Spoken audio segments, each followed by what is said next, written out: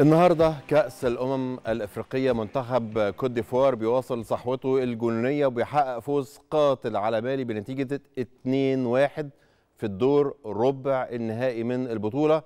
بتصعد الأفيال لمواجهة الكونغو الديمقراطية في نصف النهائي. منتخب مالي بيقدم بيتقدم بهدف عن طريق نينيو وبيتعادل طبعا سيمون أدنجرا في الدقيقة التسعين. وفي الدقيقة 120 وقبل ما المباراة بتخلص وقبل ما بتروح لركلات الترجيح بيسجل عمر داكيتي هدف قاتل لأصحاب الأرض والجمهور بيمنح بيه طبعا منتخب بلاده بطاقة التأهل لنصف النهائي. وطبعا المباراة الثانية بتتجه ما بين كابد فيردي الرأس الأخضر وجنوب أفريقيا اللي بيقدموا مباراة ولا أربعة بيقدموا متعة كروية. المباراة بتتجه إلى الأشواط الإضافية بعد نهاية الوقت الأصلي بالتعادل السلبي. إحنا طبعا هنتابعكم بنتيجة المباراة مباراة كاب فيردي وجنوب أفريقيا بافانا بافانا. طبعا مباراة ولا أروع مباراة سجال هجمة هنا وهجمة هناك وبنشوف متعة كروية في كأس الأمم الإفريقية ما بين كاب فيردي وما بين جنوب أفريقيا. وهنتكلم يا جماعة النهارده عندنا الزملاء تقرير عاملين تقرير رائع جدا ومهم جدا عن تجربة كاب فيردي. هنتكلم عليها وهنقف يعني على هذه التجربة شوية كده علشان الموضوع مهم. والموضوع ليه علاقة بحاجة اسمها ال planning أو التخطيط. وهنشوف إزاي أهمية إن التخطيط في كرة القدم دي حاجة مهمة. ليه أنا بقول الكلام ده؟ بقول الكلام ده علشان ما تردد عن روي فيتوريا مكمل ولا مش مكمل. كيروش هو اللي حي هيقود زمام الأمور ما بعد روي فيتوريا ولا لأ؟ ولا هنري رينارد هو اللي حي... فيتوريا ولا حسام حسن؟ ولا X؟ ولا Y؟ موضوع يا جماعة أكبر من كده بكتير. بجد. موضوع أكبر من كده بكتير. موضوع مش حكاية مدرب. خالص. موضوع موضوع منظومة. هذه المنظومة لها خطة. الخطة لها مستهدفات أهداف. وليها حاجة اسمها KPIs معايير قياس الأداء عشان نصل لهذه المستهدفات للأهداف دي.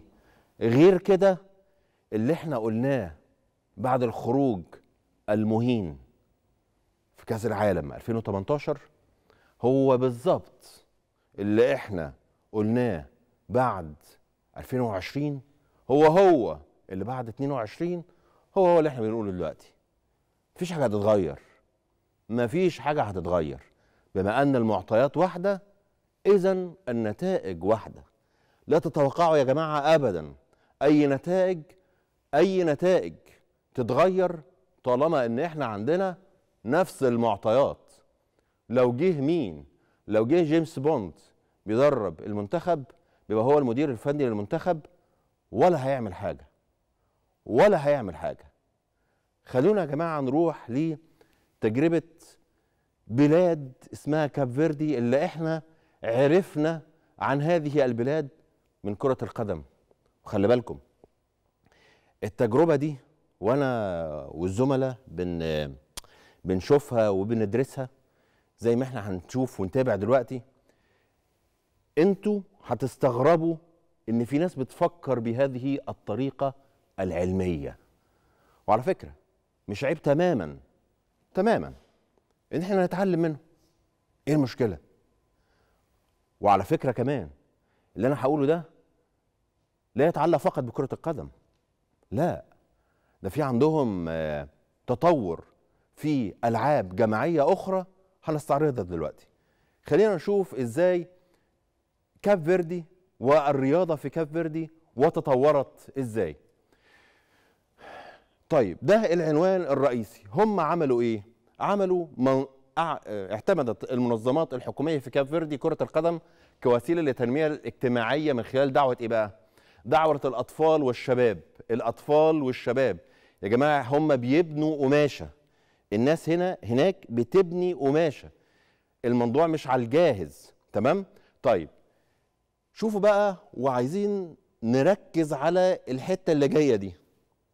البرنامج بتاع اللعيب هو فقط لا يعتمد على الرياضة فقط لا خالص تماما. هو بيعتمد على الثقافة والتعليم. معناه إيه الكلام ده؟ معناه إن لعيب الكورة هو آه لعيب كورة هو رياضي آه بس لازم يكون عنده آه ثقافة لازم يكون عنده علم لازم يكون عنده شخصية شخصية لعيب الكورة. هم بنوا ده كاب فيردي بنت ده وهو ده اللي إحنا يعني لا نستغرب تماما إن إحنا نشوف لعيبة كاب فيردي وهي بتتلاعب بالمنتخب القومي المصري لكرة القدم. ليه؟ عشان الناس دي عندها شخصية الناس دي عندها مهارات الناس دي متعوب عليها وهم صغيرين. الناس دي زي ما هنشوف دول بدأوا أول امبارح بالليل. الناس دي ما عندهاش تاريخ في كرة القدم أو في الرياضة من 120 سنة. لا لا لا خالص. الناس دي بدأت الرياضة بتاعتها أول امبارح بالليل حرفيا من 2013 زي ما هنشوف. فاللي إحنا شفناه الجمال والروعة والأناقة الكروية اللي إحنا شفناها من فريق زي كاب فيردي ده الموضوع ده مش وليد يوم وليلة. خالص. تعالوا نرجع تاني. طيب. كان عندهم منظمات المنظمات دي تابعة للحكومة وعملت عندهم برامج. هذه البرامج كانت ثقافية وتعليمية وكمان مسابقات رياضية. كانت بتدور على المواهب اللي هم اللي كانوا عندنا زمان بنسموهم الكشافين. الحصاد الأول 2013 ده كان الحصاد الأول. تمام؟ طيب اللي بعده يا شباب. الأكاديميات الرياضية كانت غير هادفة للربح. إيه الهدف بتاعها؟ الهدف بتاعها إن هي تخرج أجيال تخرج عدد كبير من اللعيبة صغار السن علشان تحترف. هو ده الهدف بتاعهم. زي ما قلت في الأول لازم يكون عندنا يا جماعة التارجت في أي إدارة إن شاء الله لو إحنا كنا بن كشك سجاير. لو أنت فاتح كشك سجاير يبقى أنت عندك لازم يكون عشان أنت تنجح في هذا الكشك لازم يكون عندك ما يسمى بال target ما يسمى بالأهداف أو المستهدفات. وعشان تحققها لازم بتمشي في طريقك لتحقيق هذه الأهداف عن طريق milestone معينة و أماكن أو مناطق علشان تشوف هل أنت ماشي صح ولا ماشي غلط وبالتالي تعدل من الطريقة اللي أنت ماشي بيها. تمام؟ طيب كاب فيردي بقى حط الهدف بتاعه إيه؟ إن هو يخرج جيل وهو راح عمل إيه؟ عمل راح يدور في النشء الصغير. هو عارف إن هو بعد خمس سنين عايز يوصل عايز يوصل لمكان معين فما جابش لعيب على الجاهز خالص. ولا جاب مدير فني ودفع له خالص. وهقول لكم مدير. بعد بس بعد ما نخلص ده علشان بس إيه كلنا نعيط. المدير الفني بتاع كاب فيردي بياخد كام؟ نرجع لكاب فيردي عندهم بقى كام؟ لعيب محترف. تخيلوا. طيب إحنا عندنا كام لعيب محترف في أوروبا؟ إحنا عندنا كام لعيب محترف في أوروبا؟ عدوا معايا. يعني غد غ... عد غنماتك يا جحا زي ما بيقولوا. عندنا محمد صلاح عندنا مصطفى محمد عندنا تريزيجيه وعندنا مرموش. صح كده؟ ويعني الزملاء بيفكروني بمحمد النني وكوكا. تمام. الناس بقى دي عندهم كام لعيب محترف؟ تخيلوا. كاب فيردي كام لعيب محترف في أوروبا؟ 26 لعيب. اللي إحنا شفناهم دول اللي هم كانوا بيتلاعبوا بينا 25 من أصل 26 لعيب محترف في أوروبا.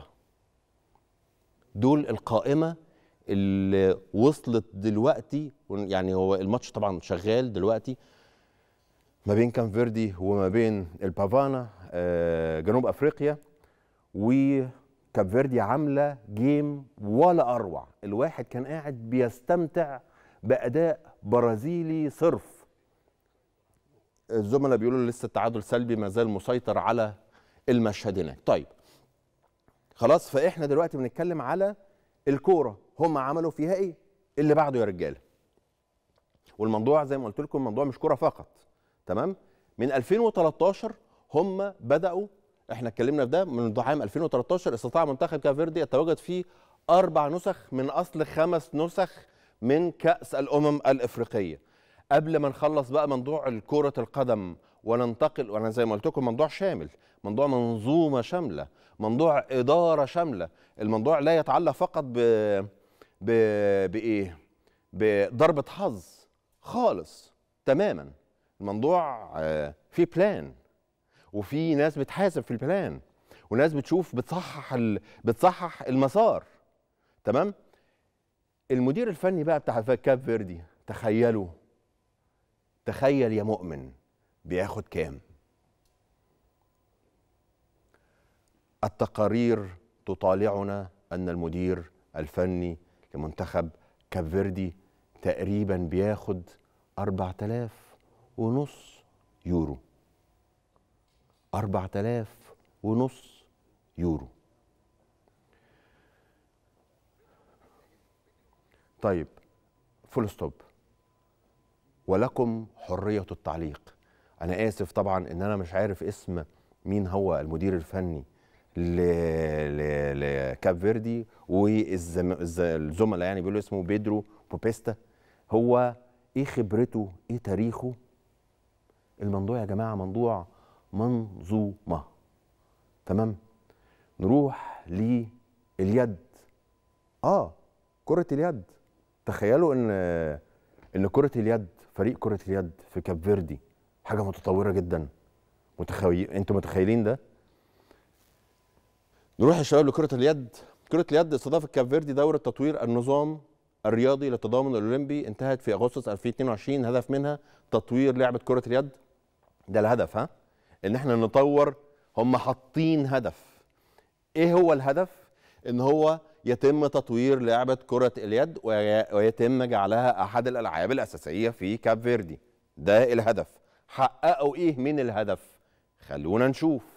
خلال الأربع سنين بقى اللي فاتت عملوا إيه؟ على صعيد كرة اليد منتخب كاب فيردي يا جماعة بيتواجد في بطولة أفريقيا خلال الأربع سنوات الأخيرة بيحتل مراكز مؤهلة لبطولة كأس العالم ثلاث مرات على التوالي. ده مين؟ ده كاب فيردي. تمام؟ بيروح كأس العالم ثلاث مرات. إيه اللي بيخليه يروح كأس العالم ثلاث مرات؟ لو رجعنا لل slide اللي قبليها هنشوف إن هو عمل ده علشان كان عنده إيه؟ بالظبط كده. كان عنده حاجة اسمها target كان عنده حاجة اسمها الهدف اللي هو عايز يصل إليه. تمام؟ فهو ما دام هو حط الهدف ومشي علشان يحقق الهدف هو أكيد هيوصل. هو حصل. هو حصل الهدف بتاعه. أربع مرات كأس أمم أفريقية مشاركة فيها. تمام؟ أربعة من أصل خمسة. وراح ثلاث مرات أو أربع سنوات سوري ثلاث مرات كأس العالم على التوالي. والأنكى من كده إن منتخب كاف فيردي بيحل وصيفا في بطولة أفريقيا 22 أمام مصر. كاف فيردي التي ليس لها تاريخ تماما في الرياضة وليس لها تاريخ تماما في كرة اليد وكرة اليد في أفريقيا باستثناء مصر طبعا ودول شمال أفريقيا فهي أكيد مش اللعبة الشعبية الأولى ولا الثانية ولا الثالثه ولا العشره في في في دول أفريقيا يعني في في القارة الأفريقية. صح كده؟ لا. ده صح ده بالنسبة لنا إحنا. أما بالنسبة لهم دي حاجة تانية خالص. هم عندهم هدف إن لعبة كرة اليد تكون من الألعاب الأساسية وبالتالي هم حطوا الهدف ونجحوا في الهدف وحل منتخب كافيردي وصيفا في كأس أفريقيا 22 وصيفا لمصر. مصر بتاريخها العظيم الأول في كرة اليد طبعا وكاب فيردي الثاني سكتوا على كده؟ لا. نخش على كرة السلة. أمال. اللي بعديها يا شباب. كرة السلة تم تأسيس العديد من الأكاديميات الخاصة بكرة السلة. وأنا طبعا أكاد أجزم أن هذه الأكاديميات هي أكاديميات غاية في الشفافية. غاية في الشفافية. يعني ما فيهاش آه، شبهة فساد. وده واضح. ده واضح. ليه واضح؟ عشان زي ما قلت المقدمات بتؤدي إلى النتائج. فلو كان في أي حاجة هنا لو كان في أي خلل في الجذور بتاعة المنظومة نو no مستحيل إن إن النتائج تبقى اللي إحنا بنحلم بيها. خلينا نروح طيب يا جماعة لكرة السلة في أكاديميات أكاديميات خاصة بكرة السلة منذ عام 2013 2013 نتكلم في كام؟ 10 سنين 11 سنة؟ يعني أول امبارح بالليل يعني. تمام. معلش نرجع تاني يا جماعة للسلايد. 2013 عملوا إيه في كرة السلة؟ تم اختيار العديد من المواهب لتصعيدهم للمنتخب الأول الذي استطاع الحصول على المركز الرابع في بطولة أفريقيا لكرة السلة سنة 21 طب هم بدأوا في كام؟ 2013 تمام؟ بدأوا في 2013 وصلوا وصلوا لأول أهدافهم بعد بعد كام سنة؟ سبع سنين في 2021 ودي للمرة الأولى في تاريخه. يعني الموضوع على فكرة لو إحنا وأنا أنا أنا أنا شخصيا أنا أتذكر لما بعد الخروج المهين لكأس لمنتخب المصري في 2018 أنا وزملائي اللي كان ليهم برامج رياضية اللي قلناه ساعتها هو اللي بنقوله دلوقتي هو اللي هنقوله بعد عشر سنين لو كان نفس الأمر كذلك. لو كان نفس المعطيات نفس المعطيات نفس الأفكار آه، نفس طريقة إدارة الملف لو ماشيين بنفس ال ال ال ال أنا مش عايز أقول المنتاليتي بس أنا مضطر أقولها وأنا آسف. لو ماشيين بنفس يا جماعة المنتاليتي فإحنا اللي بنسبح فيه هنبيت فيه. حبيت بس أقول لكم ده وخلونا نقل بقى على الإيه؟ على الأخبار التانية بتاعتنا. أخبار بقى إيه؟ الكواليس الخاصة بتاعت فيتوريا هيمشي ولا مش هيمشي؟ الحاجات الإيه؟ الأخبار الجميلة بتاعتنا دي بقى. طيب دي كواليس خاصة وحصرية زي ما إحنا متعودين في رقم 10 كواليس الساعات الأخيرة في اتحاد الكرة إحنا عارفين إن بكرة بين قوسين المفروض سوف يتم تحديد آه فيتوريا هي مكمل آه مش مكمل آه الموضوع بتاع آه، المكافأة بتاعته أو الشرط الجزائي بتاعه هيدفع كله ولا هيدفع بالتقسيط ولا فيتوريا يعني هنصعب عليه فهي هيدفع جزء من المبلغ أو هياخد هيوافق يعني إن هو يخفض شوية. هنعرف كل الكلام ده. على أي حال الساعات اللي جاية أنا آسف الساعات اللي فاتت كان هناك العديد من المناقشات ما بين أعضاء مجلس إدارة اتحاد الكورة حول مصير إيه؟ روي فيتوريا. هنشوف دلوقتي على الجرافيك في ظل إيه؟ في ظل فشل الراجل في قيادة الفراعنة خلال بطولة كأس الأمم الإفريقية. وكأن وكأن مشكلة وأزمة كرة القدم في مصر هتتحل برحيل هذا الراجل أو إن هو يكمل.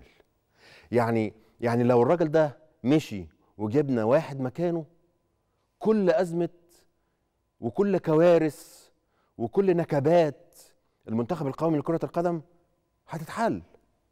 اتحلت خلاص. يعني إحنا خلاص نستريح. موضوع آه ان إحنا هنخش كأس العالم وهننافس على مراكز متقدمة في كأس العالم هو فقط إحنا عايزين نشيل آه ألدو ونحط شاهين أو نشيل زيد ونحط عبيد. فقط. فالموضوع سهل يا جماعة. إحنا ليه مصعبين الموضوع؟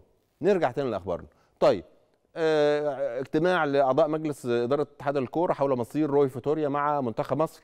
وأنا برضو معلش أنا عايز هنا برضو أنا مش عايز حد يفهم من كلامي إن برضو مشكلة مشكلة اتحاد الكورة خالص. الموضوع أكبر من كده موضوع منظومة منظومة كاملة متكاملة. يعني لا يكلف الله يا جماعة نفسا إلا وسعها. فإحنا العناصر اللي موجودة ده السيل بتاعهم السقف. ما تطلبش حاجة أزيد من ده. مفيش. والله ما فيه فهو كده تمام. نرجع يا جماعة تاني معلش أنا آسف لاخبارنا الكواليس. أعضاء المجلس الإدارة اتحاد الكورة اجتمعوا وشافوا إن الراجل ده في ظل فشله في قيادة الفراعنة خلال بطولة كأس الأمم الأفريقية. حتى الآن لم يحسم حتى الآن لم يحسم المجلس مصير المدرب البرتغالي. ده رقم واحد. خش رقم اثنين في الوقت في الوقت الحالي بيتمسك الثلاثي. مين الثلاثي؟ الأستاذ المبجل جمال علام رئيس الاتحاد والأستاذ المبجل آه، خالد الدرندلي نائب رئيس الاتحاد والكابتن المحترم حازم إمام عضو المجلس والمشرف على المنتخب الأول. الثلاثه دول بيتمسكوا باستمرار المدرب البرتغالي روي فيتوريا وهم بيقولوا هؤلاء الثلاثة الرموز المبجلين المحترمين بيقولوا إن الراجل واجهته ظروف صعبة. ما هي هذه الظروف الصعبة؟ الطقس والرطوبة.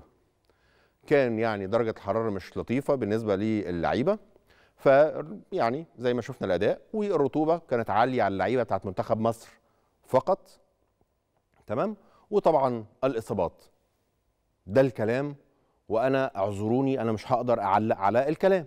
هذا هو الكلام. أنا بحاول إن أنا أتمسك ب وجودي هنا كمذيع أو كإعلامي في هذا البرنامج الرياضي وبحاول أقول الكلام اللي موجود وأترك لكم حرية التعليق. فهم قالوا إن إحنا يا جماعة عايزين نتمسك بالراجل اللي هو روي فيتوريا. ليه؟ علشان الراجل واجهته للأسف الشديد ظروف صعبة جدا جدا جدا. ما هذه ما هذه هي ما الظروف الصعبة دي. والله علشان الراجل أو لعيبة منتخب مصر للأسف الشديد واجهتنا عندنا الطقس والرطوبة والإصابات. ده رقم اثنين نخش على رقم ثلاثة حتى الآن لم يتحدث أي من أعضاء مجلس إدارة اتحاد الكرة مع روي فيتوريا بشأن رحيله أو التنازل عن الشرط الجزائي في عقده أو إن هو يخفض من الشرط الجزائي. وكل اللي حصل إن الكابتن حازم إمام تواصل مع المدرب هاتفيا وقال له كابتن حازم إمام قال لروي فيتوريا زي حضرتك يا فندم أنا بس بحب يعني أقول لحضرتك إن الجماهير المصرية غضبانة شوية زعلانة من النتائج بتاعت كأس الأمم الأفريقية. فروي فيتوريا رد على الكابتن حازم إمام وقال له خلاص وعد إن النتائج هيتم تحسينها مستقبلا. سلام سلام. لا تعليق. رابعا روي فيتوريا في الساعات الماضية بيسلم تقريره إلى الاتحاد اتحاد الكرة حول أسباب الإخفاق في كأس الأمم الأفريقية وبيرجع المدرب السبب في الخروج من دور ال 16 إلى الرطوبة. الرطوبة كانت يا جماعة مأثرة على على اللعيبة وطبعا الإصابات. لا تعليق. خامسا في الساعات الماضية بيتلقى روي فيتوريا عرضين من آه، السعودية واحد من العرضين من نادي الشباب المدرب البرتغالي بيرفض فكرة الرحيل عن تولي زمام مبادرة أو أو يعني المنتخب المصري. تمام؟ وبيتمسك باستمراره مع المنتخب وهو ما يعني أن المدرب إذا ما عرض عليه الرحيل هتكون هناك صعوبة شوية إن هو يعني يمشي ليه علشان الراجل تقريبا زي ما إحنا فاهمين من الكلام من الأخبار من الكواليس إن الراجل عايز يحصل على مستحقاته. تمام؟ تمام.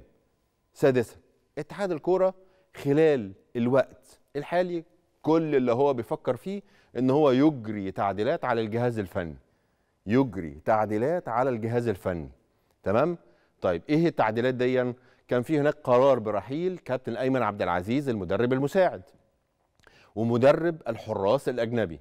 إلى جانب تخفيض راتب فيتوريا وتقليص عدد معاونيه الأجانب في الجهاز بجانب استخدام مدرب عام ومدرب حراس مصريين يعني.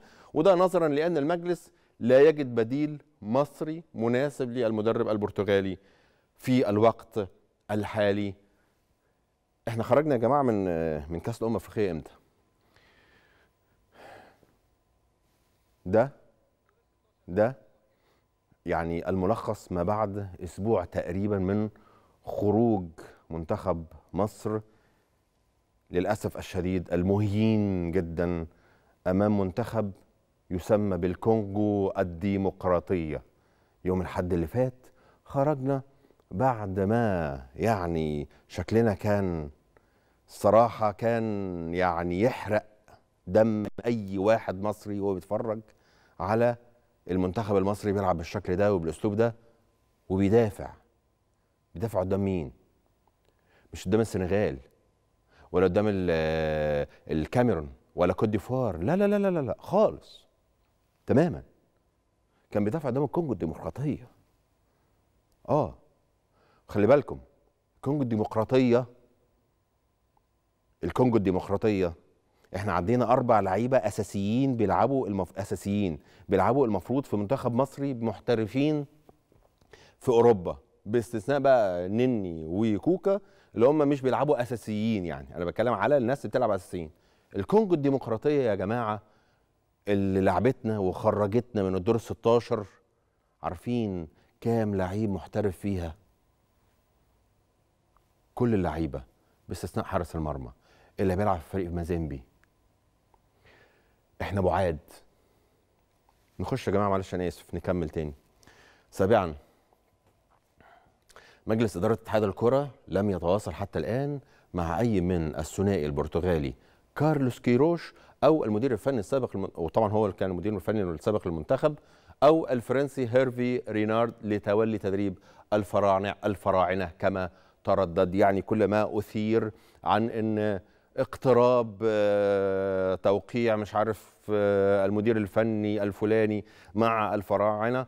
كل هذا في آه، تحت التصنيف بيقول لك. كل الكلام ده ليس له أي أساس من أصح. إحنا أصلا مش عارفين الراجل هنعمل معانا إيه. يعني في توجه وفي اتجاه إن هو يعني يتم شكر الراجل له شكرا كتر خيرك باستثناء الثلاث آه، شخصيات اللي موجودين في اتحاد الكرة الرئيس والنائب والمشرف العام على المنتخب هم اللي عايزين الراجل يستمر في لو أنتوا فاكرين الراجل ده روي فيتوريا تم تقديمه لنا نحن جموع المصريين إن ده المدرب المشروع. والله اتقال لنا كده. ده المدرب المشروع. روي فيتوريا والمنتخب اللي إحنا شفناه ده ده المفروض المفروض هو المدرب المشروع بتاعنا. آه والله زي ما بقول لك كده. نروح بقى يا جماعة لأخبار أخرى بعيدا عن المنتخب المصري لكرة القدم. نروح للنادي الأهلي. خلال الساعات اللي فاتت نادي الأهلي بيجدد المفاوضات بتاعته مع كابتن محمد بسام حارس مرمى سيراميكا كيليوباترا علشان يتعاقد معاه في فترة الانتقالات الشتوية الحالية. مارسيل كولر المدير الفني للنادي الأهلي بيتمسك بالتعاقد مع الحارس حتى يعني يكون آه، بجانب مصطفى شوبير في ظل إصابة طبعا كابتن محمد الشناوي في آه، الكتف. الأهلي حاليا بيكثف مفاوضاته مع إدارة سيراميكا كليوباترا عشان يحسم الصفقة وبيعرض عليهم الثنائي. في المقابل بقى أحمد عبد القادر ومصطفى مخلوف حارس فريق الشباب مقابل استعارة محمد بسام. وأنا هنا عندي يعني رأي وقد يكون يعني رأي بيتقال. مصطفى شوبير حارس واعد جدا جدا. ولما تم وضعه في اختبارات واختبارات كانت من الصعوبة بمكان وإحنا شفناها طبعا.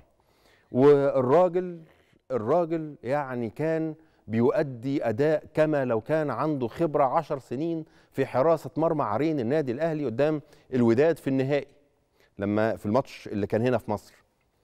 تمام؟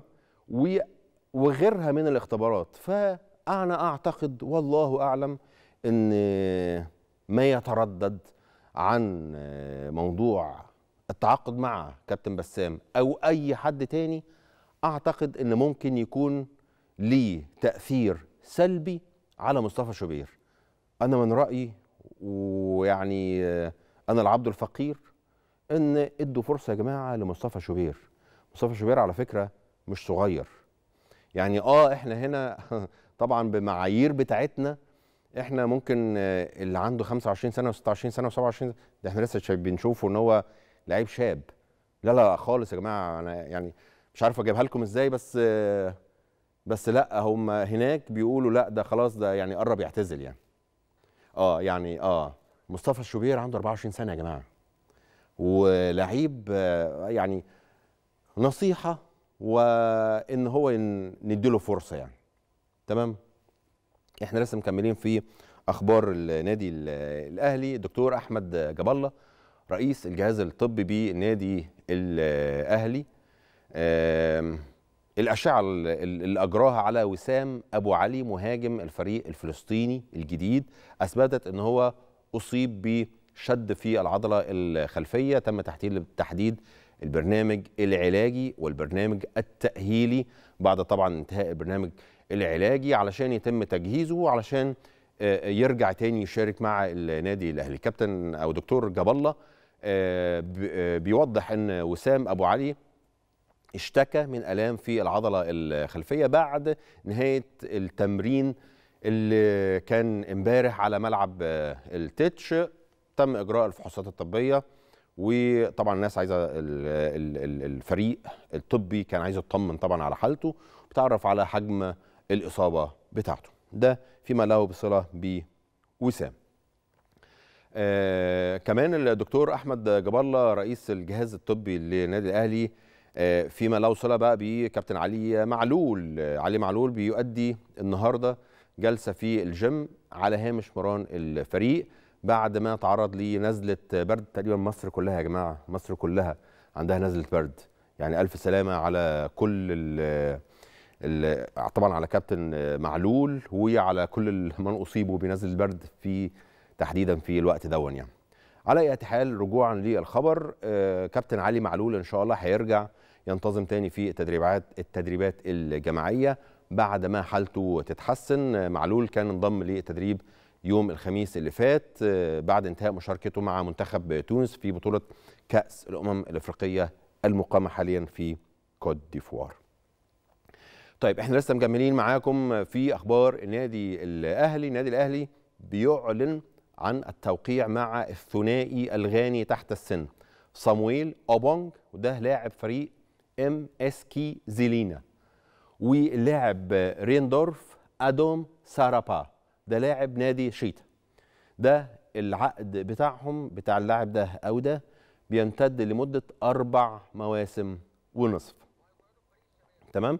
والاثنين دول هيتم تقييدهم في فريق الشباب بالنادي الأهلي.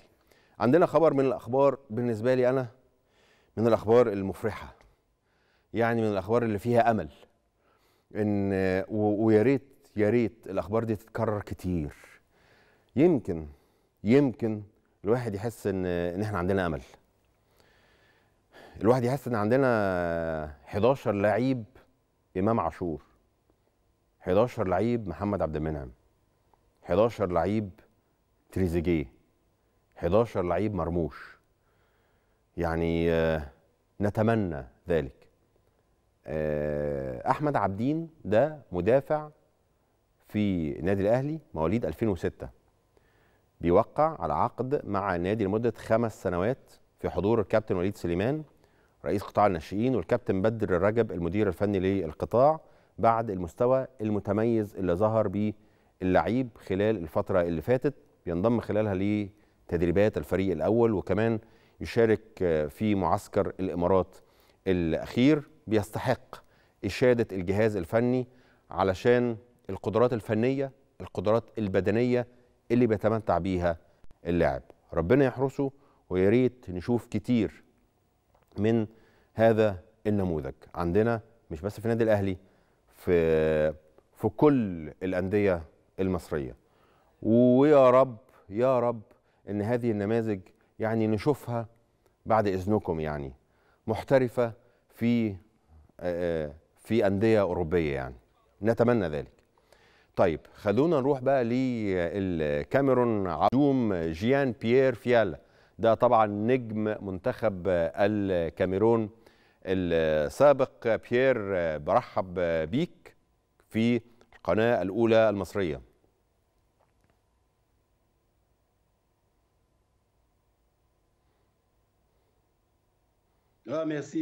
أشكركم. أشكركم ومساء الخير. وأشكركم على هذه الدعوة. آه، طيب عايزين نسأل بقى عن آه، النسخة الحالية كأس الأمم الأفريقية كوت ديفوار 2023 آه، شايفها إزاي؟ شايف البطولة استثنائية إلى أي مدى؟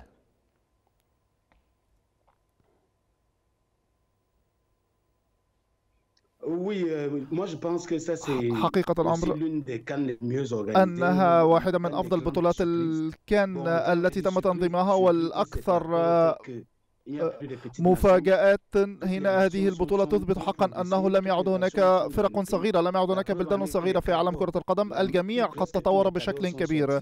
لم يعد هناك هدايا تقدم للفرق الكبيرة على طبق من ذهب كما كنا نقول. الجميع أصبح الآن على قدم المساواة تقريبا والمستويات متقاربة. نعم. بيير بس سؤال. في وجهة نظرك إيه سبب ظهور المنتخبات الكبرى بمستوى يعني مش هقول متواضع بس مستوى غير المأمول قدام منتخبات الأسماء بتاعتها في تاريخ آه، كرة القدم الأفريقية ليس على هذا المستوى. لأنه الفرق الكبيرة حينما تتحدث عن فرق كبيرة. هذا يعني أن تتحدث عن نتائج ولكن هذا لم يحدث العمل والنتائج هي التي تقول من هو الفريق الكبير والفريق الصغير الفرق الكبيرة بما فيها الكاميرون والسنغال ومصر وتونس نعم نعلم أنها فرق كبيرة على الورق ولكن أمام الفرق التي لعبوا أمامها اتضح أن هناك شيء آخر أصبح لدينا مفهوم آخر المفهوم والتصور الذي كان لدينا عن مصر والكاميرون لم يعد موجودا على أرض الواقع لأن هناك قوى أخرى صاعدة.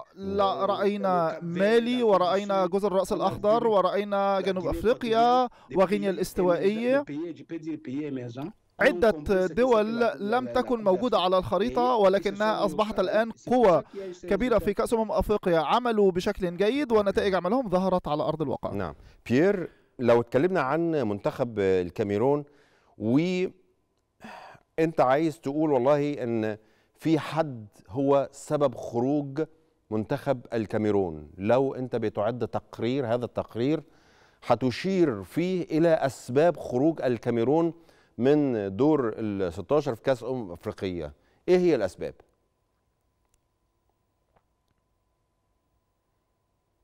أه Moi, je crois qu'il y a une seule raison. La raison, que quand on le jeu qui a été produit, il n'y a pas eu un travail de fond qui a été fait. ترى فريقك يخسر بهذا الشكل فهذا يعني أن هناك عمل كان من المفترض أن يتم وهذا العمل لم يتم إنجازه لم يكن الفريق مؤهلا بشكل جيد لكي يخوض غمار هذه المسابقة. مقارنة بالفرق الأخرى اتضح أننا لم نقدم شيئا. كان علينا الكثير من العمل كان علينا الكثير من الاستعداد كان يجب أن نكون مهيئين بشكل أفضل لهذه البطولة هذا هو السبب أننا لم نعمل بالشكل الجيد جيد. طيب لو قلنا إن هل تعتقد إن منتخب الكاميرون بيحتاج ل وجوه جديدة تجديد دماء أو ضم لاعبين آخرين للسكواد للمنتخب الكاميروني؟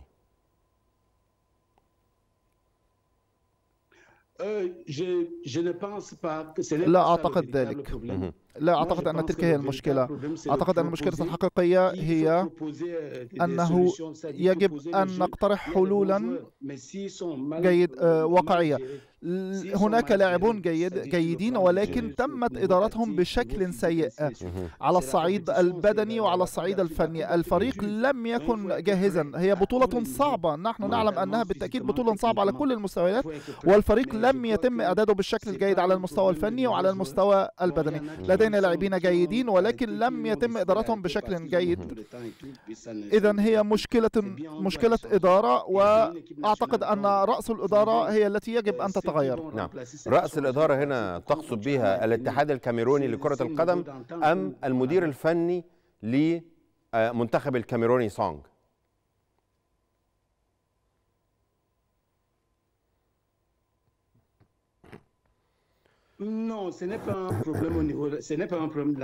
ليست مشكلة الاتحاد.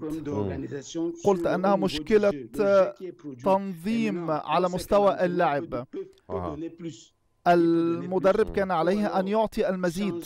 كان عليه أن يعمل بشكل أفضل. المشكلة ليست في الاتحاد بالتأكيد. حينما ما قدمه المدرب على أرض الملعب لم يكن شيئا مقنعا. نعم. هناك لاعبون أفضل من ذلك بكثير ولكنهم لم يعطوا ما كان منتظرا منهم والكثير من اللاعبين وحتى رأينا معنويات بعض اللاعبين كانت منخفضة. وهناك عمل كان يجب أن يجري على الخطوط بالشكل الفني ولكن كل ذلك كل ذلك لم يكن موجودا. اللعب يتم إنتاجه في الاستاد وهذا يتعين على المدير الفني أن يدير وهذا ما لم نره في أرضية الملعب. نعم. هذا هو ما كنت أتحدث عنه. نعم. بالحديث عن صامويل إيتو رئيس الاتحاد الكاميروني لكرة القدم كيف ترى أداؤه كيف ترى يعني تواجده هل له تأثير إيجابي تأثير سلبي؟ أفاد الكرة الكاميرونية.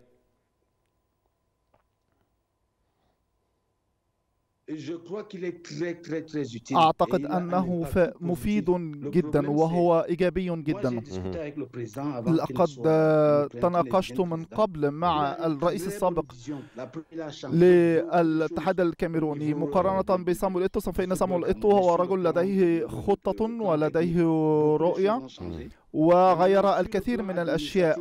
وعلى على الصعيد. الإداري هو غير الكثير من الأشياء. ولكن المشكلة كما قلت أنه التغيير الفني على مستوى إدارة الفريق ومن يلعب أساسيا ومن يلعب احتياطيا. هذه هي المشكلة الأساسية. ما حدث قد حدث؟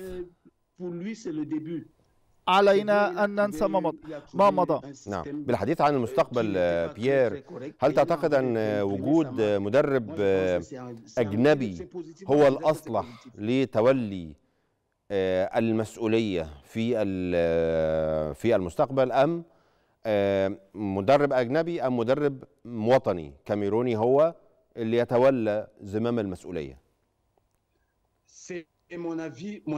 وجهة نظري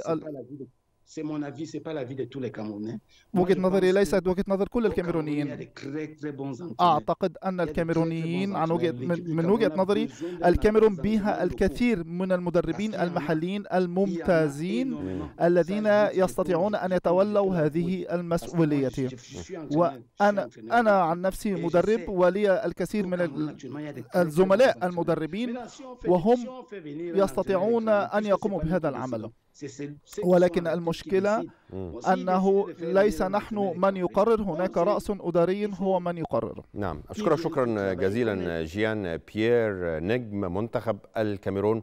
كنت معنا في رقم 10 أشكرك شكرا جزيلا. thank you طيب إحنا لسه يا جماعة مكملين أخبارنا. نروح لأخبار خاصة بنادي الزمالك ونادي الزمالك. يعني اليومين دول فيهم حاجات كده بشرة خير يعني قلبانة كده قلبانة أعتقد كل محب ومشجع ومريد للقلعة البيضاء هيحب يشوف نادي الزمالك في الأجواء دي في في الأخبار يحب يسمع الأخبار دي من نادي الزمالك سواء بقى على صعيد الميركاتو الشتوي تقريبا نادي الزمالك إحنا بنتكلم إن هو ما شاء الله الله أكبر يعني جاب فريق كامل. أزمة القيد تم إنهائها تم التعاقد مع مدير فني.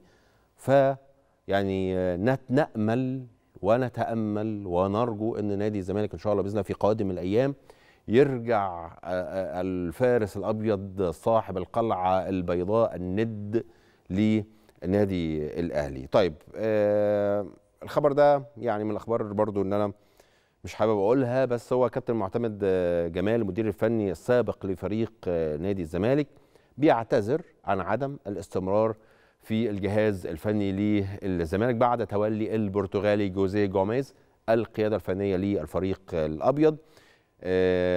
كابتن حسين لبيب رئيس مجلس إدارة نادي الزمالك بيأكد إن كابتن معتمد جمال أحد أبناء النادي المخلصين وإحنا شفنا يعني وده ده كلامي أنا إحنا شفنا كابتن معتمد جمال يعني كان ليه أداء وبصمة في وقت صعب جدا مر بيه نادي الزمالك واستطاع إن هو مش فقط إن هو يعني يعني مش عارف أقولها إزاي. الأداء بتاع نادي الزمالك كان أداء في هذه الفترة مع كابتن معتمد جمال كان أداء صراحة كان كويس جدا. ففكرة إن هو يعتذر عن وجوده في الدور الثاني دي يعني أنا شايفها إن هي حاجة بالنسبة لي أنا كمدرب وطني حاجة محزنة يعني. على أي حال كابتن ورجوعا بقى للكلام كابتن حسين لبيب قال إن هو كابتن معتمد جمال كان ليه دور إيجابي مع الفريق في الفترة اللي فاتت وتحمل المسؤولية في ظل ظروف صعبة ونجح باقتدار في أداء مهمته مع الفريق. وأعتقد كلنا كلنا سواء انت كنت بتشجع النادي الأهلي يعني بتشجع نادي الزمالك بتشجع نادي الإسماعيلي أكيد أكيد كلنا شفنا كابتن معتمد جمال عمل إيه الفترة اللي فاتت لنادي الزمالك. نرجع تاني لكلام كابتن حسين لبيب رئيس نادي الزمالك بيقول إن مجلس الإدارة متمسك إن هو يستفيد من كابتن معتمد جمال في أي منصب خلال الفترة اللي جاية عشان هو طبعا أحد أبناء نادي الزمالك المخلصين. كابتن معتمد جمال كان تولى المسؤولية بشكل مؤقت خلفا للكولومبي خوان كواليس أوسوريو وقاد الفريق نحو صدارة مجموعته ببطولة كأس الكونفدرالية الأفريقية وكمان حقق بطولة كأس دبي للتحدي. برضو إحنا لسه مكملين في أخبار نادي الزمالك. دكتور محمد أسامة رئيس الجهاز الطبي لنادي الزمالك آه بيقول إن محمود آه حمدي الونش أجرى أشعة على الركبه خلال الساعات الأخيرة بعد إصابته في مران الزمالك يوم السبت. طبيب الفريق بنادي الزمالك بيقول إن كابتن ونش تم نقله إلى المستشفى بعد إصابته علشان يطمئن على حالته. وأنه فور طبعا بمجرد ظهور التقرير النهائي للأشعة هيتم حسم الموقف موقف لاعب من الإصابة وطبعا حسم فترة غيابه فريق الأول بكرة القدم نادي الزمالك بيستعد علشان يقابل فريق الإسماعيلي يوم 19 فبراير الحالي في الجولة ال 13 لمسابقة الدوري الممتاز لكرة القدم. مستمرين لسه في أخبار نادي الزمالك. مجلس إدارة نادي الزمالك بيعلن رسميا عن التعاقد مع ناصر ماهر لاعب وسط فريق مودرن فيوتشر لمدة أربع مواسم والنصف خلال فترة الانتقالات الشتوية الحالية عشان يدعم صفوف الفريق. كابتن ناصر ماهر بيوقع على عقود الانتقال ليقال على البيضاء في جلسة جمعته بمجلس إدارة نادي الزمالك بعد إنهاء المفاوضات ما بين الناديين على كافة التفاصيل كافة بنود التعاقد. بينتقل طبعا بموجبها عمرو السيسي لمودرن فيوتشر بصورة نهائية مع إعارة كل من عبد الله محمد وعلي ياسر لمدة موسمين ونص. طيب. آه نروح لنادي آه بيراميدز آه في مصدر ليه رقم 10 في نادي بيراميدز بيكشف عن فسخ نادي التعاقد مع البرتغالي جايمي باتشيكو المدير الفني للفريق بالتراضي مساء اليوم بسبب تراجع النتائج في الآونة الأخيرة وخروج الفريق من بطولة كأس الرابطة بعد الخسارة من المصري بثلاثية مقابل هدف في ربع نهائي البطولة. المصدر بي بيوضح إن محمود فتح الله المدرب العام للفريق هيتولى مهمة قيادة بيراميدز في الفترة الحالية لحين التعاقد مع مدير فني جديد في الفترة المقبلة فريق بيراميدز بيحتل المركز الرابع بجدول الدوري المصري عنده 17 نقطة من 8 مباريات خمسة فوز واثنين تعادل وخسارة وحيدة في المباراة. الخبر يعني بيقول إن باتشيكو بينهي التعاقد بالتراضي. تمام؟ طيب. جنوب أفريقيا يا جماعة الزملاء في الكنترول بيقولوا إن جنوب أفريقيا كسبت 2-1 في ضربات الجزاء وبتقصي كاب فيردي عن دور نصف النهائي. كاب فيردي بره جنوب أفريقيا بتكمل أنصار بيرسي تاو إلى المربع الذهبي. كأس أمم أفريقية مباراة اللي جاية ما بين جنوب أفريقيا وما بين نيجيريا. يعني تجربة كاب فيردي للأسف الشديد انتهت آه لهنا في كأس الأمم الأفريقية بس أعتقد هي ما انتهتش. وخلي بالكم كاب فيردي على فكرة معانا معانا في تصفيات كأس الأمم كأس العالم. يعني فكرة إن إحنا حاطين في بطننا بطيخة صيفي إن إحنا هنخش كأس العالم وإحنا by the way تسع فرق هيخشوا من قارة أفريقيا كأس العالم اللي جاية في أمريكا وكندا ومكسيك. تسع فرق. تخيلوا يا جماعة إن كاف فيردي دي هي في نفس مجموعتنا. وتخيل يا مؤمن إن إحنا ما نتأهلش خالص لكأس العالم اللي جاية نفاصل ونرجع بعد الفاصل. معانا المحلل الرياضي محمد خليفة والمحلل اسلام علي.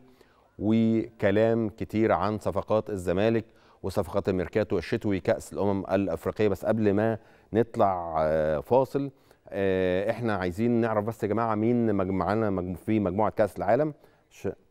غينيا بيساو بوركينا فاسو وإثيوبيا سيراليون جيبوتي. الحمد لله كاب فيردي طلعت مش معانا. الحمد لله. لا كده احتمال احتمال نطلع لكأس العالم. نرجع لكم بعد الفاصل.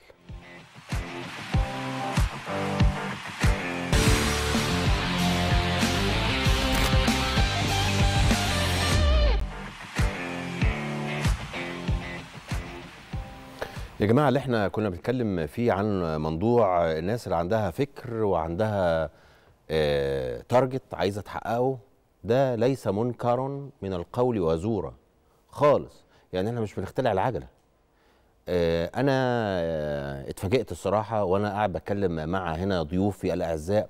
محمد خليفه برحب بيك الأول. ده أنا اللي برحب بيك يا أستاذ رجائي وسعيد إن أنا معاكم في القناة الأولى ومع زميلي إسلام طبعا. إسلام علي برحب بيك. أهلا بحضرتك يا أستاذ رجائي واهلا بدكتور خليفة ومبسوط معاكم النهارده إن شاء الله. طيب يا جماعة وإحنا بنتكلم مع الرجالة فقالوا لي حاجات مفرحة. في خبر مفرح هم يعني إسلام كان بيتكلم فيه وقال إن في حاجة هنا في مصر الحاجة دي قد قد تكون بارقة أمل. هنسمع عن تفاصيلها مع إسلام عايزين الحاجة من غير طبعا الاشاره للاسماء تمام. إيه اللي بيحصل في مصر هنا؟ بارقة أمل. يقول إن إحنا ممكن يكون عندنا مثلا بعد خمس سنين جيل هذا الجيل ممكن ينافس على الدخول في مربع الذهبي لكأس العالم. مش التأهل لكأس العالم ولا الأداء المشرف لكأس في كأس العالم ها؟ تمام. في البداية كان في أواخر التسعينات أوائل الألفينيات كان في سكاوت مانشستر يونايتد في أفريقيا. الراجل ده طبعا ده منصب مهم جدا بالنسبة لمش... مانشستر يونايتد في أفريقيا. يعني الكشاف بتاع مانشستر يونايتد؟ بتاع مانشستر في قارة أفريقيا. طبعا كل الأندية الكبيرة أو أغلب الأندية الأوروبية عندها scouts منتشرين في كل المناطق في العالم يعني. فالراجل قرر إنه يستقيل. إحنا برضه عندنا كده. آه تمام. الراجل قرر إنه يستقيل والناس قالت إن الراجل ده أكيد مجنون. إزاي بيسيب position مهم زي ده في نادي كبير زي مانشستر يونايتد؟ وطبعا ده كان في أوج تألق مانشستر يونايتد. والراجل إزاي بيسيب ال position ده؟ ويا ترى هيعمل إيه؟ لكن اكتشف مين تقريبا؟ ولكن الفكرة إن الراجل قال إن أفريقيا مليانة مواهب كتير قوي. مش لازم تطلع على مانشستر يونايتد على طول ممكن تعدي على محطات تانية قبل ما توصل لمانشستر يونايتد لحد ما تستوي زي ما بنسموها بالبلدي هنا. مم. فالراجل قرر يستقيل وراح لغانا وتواصل مع الحكومة الغانيه وقرر إنه ياخد منهم حتة أرض. الأرض دي عمل فيها ملاعب كان أغلبها ترابية ووصل إن هو كان كل سنة تقريبا بي بيعمل اختبارات لفوق ال 30 ألف طفل في البلاد بتاع غرب أفريقيا. لحد معلش التجربة دي بدأت سنة كام؟ آه تقريبا آه أواخر يعني 99 2000 حلو ده. تمام؟ تمام. مع الوقت الراجل بدأ يجمع الولاد الصغيرين وبدأ يعمل لهم زي كامب. الكامب ده الولاد بيقعدوا فترة معينة ويرجع بيته أجازة لفترة معينة ويرجع تاني. الفترة دي الولد بيتعلم آه أيوة. ويتدرب كورة بشكل آه ممنهج زي ما بيحصل في أوروبا أيوة. المدربين دايما بيواجبوا التطورات اللي بتحصل في أوروبا أيوة. اتصرف على المدربين كويس جدا مش بس وكده لا الراجل كمان اشتغل على الولاد ثقافيا وتعليميا عشان الولد يبقى قدامه طريق من ثلاثة في النهاية قولها تاني الله يكرمك يشتغل على الولاد ثقافيا ثقافيا وتعليميا ورياضيا ورياضيا ليه. بقى؟ يعني لأن دايما بقى يعني. الرياضي الذكي والشاطر أيوه دايما نسبة نجاحه بتبقى أكبر من ال- ال- اللعيب اللي هو ما عندوش مينتاليتي أصلا خالص فالراجل اشتغل على الحاجات دي. طيب اختبارات العيال بتتم إزاي؟ اختبارات للولاد. في السن ده مش بتتم عن طريق الكورة بس. انت نجحت في الكورة بيبدأ يتم اختبارك عن. طريق الذكاء س- وحاجات تانية آه. كتير قوي. وبيتعمل لهم تحاليل وحاجات مهمة جدا خاصة بان أنت بت- بتبني لعيب كورة من الآخر يعني. مم. طيب إيه الطريق ده؟ اللي أنت بتوصل يعني مش له؟ بندفع مثلا 500 جنيه ولا حاجة لا لا لا مش وندخل الكلام ده. هو بيصرف بيصرف. من A to Z مم. الحاجة الثانية إن أنت بيبقى قدامك طريق من اتنين. إن أنت تلعب في الدوري الغني مستقبلا أو إن أنت تحترف في أوروبا أو إن أنت تاخد scholarship في أمريكا. إن أنت المفروض ولد متفوق تعليميا فبتاخد منحة تعليمية في إحدى الجامعات الأمريكية. الله. مش بس وكده عشان تمثلهم الله. آه، رياضيا بالنسبة للجامعة دي. مع الوقت يعني الر- scholarship تعليمي؟ آه. خلاص. يعني انت انت انت داخل في مكان المكان ده بيأهلك بيأهلك تعليميا ورياضيا ورياضيا يعني فكرة إن أنت شغال مش بس يعني لو لو لو مستقبلك في الكورة ما ما مشيش أنت ممكن بتكمل آه،. كحد ليه مهنة معينة صح. كده؟ بيضمن لك انت تكون إنسان سوي من الآخر يعني مم. ال- الراجل فضل ناجح جدا لحد ما في يوم النجاح بتاعه ده وصل إنه راح اشترى في الدنمارك نادي نوردشيلاند الدنماركي لما اشترى النادي الدنماركي ده في سنة من السنين أعتقد 2018 2019 لعب Champions League آه، ولعب دور المجموعات في ال Champions League مش بس وكده ده كان البوابة اللي بيخرج منها اللعيبة المواهب بتاعته لأوروبا عشان يبقى الخروج لأوروبا أسهل من إن هو يروح يجيب الأن- ال scouts بتوع الأندية الأجانب ويبصوا على. اللعيبة بتاعته. في ده 2019 اللي عمله بره. آه تمام. نيجي بقى يا جماعة على ال- اللي حصل هنا في مصر. في اواخر بارقه أمل اتفضل في اواخر 2019 مم. أحد رجال الأعمال المصريين حلو. قرر يدخل في تفاوض حلو. مع الراجل أيوة. وبالفعل اشترى المشروع بالكامل ولكن بالنادي. الراجل آه بالنادي آه ولكن الراجل كان ليه حق الإدارة اللي هو المؤسس المشروع الأولاني وفعلا المشروع ده اتعمل في مصر آه تقريبا بدأ من السنة اللي فاتت والمشروع ده كان بار- بارقة أمل إن في اتنين مشاريع كمان اتعملوا في نفس القصة أو في نفس الاتجاه الولاد دول مش بيلعبوا كورة مش بيلعبوا دوريات بتاعة البراعم والناشئين لأن إحنا عارفين دوريات البراعم والناشئين بتأثر بشكل كبير جدا على الولاد النتائج. وعلى مستوى تطورهم والنتائج لأن للأسف بيدور على النتائج آه بيدور على دلوقتي النتائج الناشئين عندنا فيها كتير جدا تدوير على النتائج فحتى آه. آه. ممكن آه. آه. ينتقي مواهب يدور على لعيب طويل يرمي له الكرة الطويلة أسلوب اللعب آه. هو لا هو بيدور على أسلوب لعب تاني ويطلع على بيدور على مواهب بقى طيب ده عظيم ولو رحت اتفرجت عليهم هم عندهم system ممتاز جدا. هم الثلاث مشاريع دول الحقيقة عندهم system محترم جدا إن هو بيلعب كرة على الأرض بيحاول يلعب كرة اللي هي الحديثة اللي العالم كله بيلعبها. آه مش بيبص للنتائج. آه عنده منهج في الكورة لازم الكل ينفذه لازم الكل يلعب عليه. طب ممكن أسأل سؤال؟ اتفضل. لو أنا عندي ابني وعايز أقدم له في الأكاديمية دي أو دي أو دي رقم واحد سن القبول.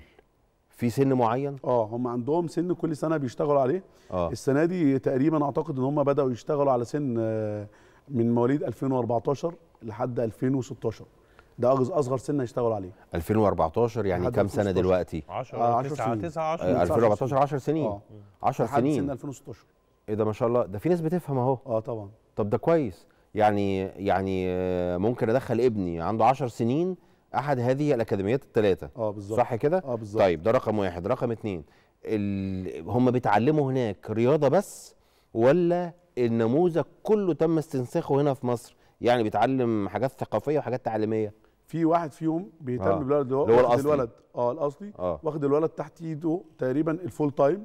ست أسابيع والولد بيروح 10 أيام لأسرته. وفي اتنين تانيين لأ بيدوا الولاد دروس. آه وبيحاول يدي الولاد آه culture بيغير ال- ال- الثقافة. ال background ال culture آه. background عند الولاد آه. بيخلي الولاد مؤهلين بشكل ثقافي أكتر يعني عشان يبقى عندهم mentality بشكل كبير جدا طيب رقم ثلاثة آه، إيه هي المعايير التي بناء عليها يتم قبول اللعيب ده أو الناشئ ده آه، في الأكاديمية أو لا؟ هي كلها معايير scout اللي بيحصل في العالم كله دلوقتي إن هو بيبص لل profile بتاع اللعيب اللي بياخده. هل اللعيب ده مهاري؟ طب ذكي ولا لا؟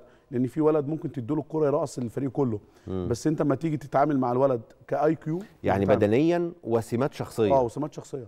ده مهم جدا عندهم. أها. مهم جدا والتجربة عندهم. دي ناجحة في مصر؟ آه طبعا إحنا لسه بقالنا سنتين أو سنة ونص يعني لحد دلوقتي ناجحة.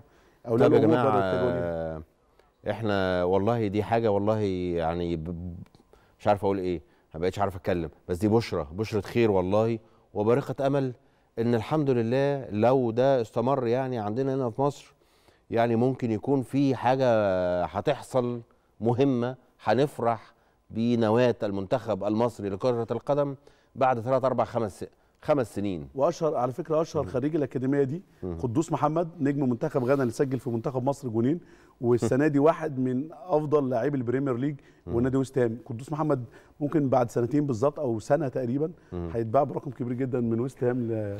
بس في نقطة أنا عايز أزودها بس اتفضل. إن المغرب لما عملت أكاديمية أيوة. شبيهة بكده راحت عملتها في المناطق الفقيرة. مهم. اللي هو ما عندهمش الأكسس للوصول للعاصمة والنوادي اللي في العاصمة والحاجات دي. فاتمنى إن لو إحنا في مصر بنمر بنفس أكاديمية تقريبا محمد بن خامس آه تقريبا حاجة كده؟ دي معمولة في آه، منا- مناطق صعب يعني الناس اللي ما بتعرفش تروح كذا وما بتعرفش تروح الدار ال- يعني اللي ما بيعرفوش يروحوا المدن الرئيسية في المغرب فدي فدي حاجة كويسة. فأنا قصدي في مصر يا ريت كمان لو إحنا هنهتم بالحاجة اللي موجودة في القاهرة يبقى إحنا عندنا كمان أماكن اللي هي اللي أنت بتبقى عارف إن ممكن يكون فيها مواهب آه. وصعب إنها توصل لأندية.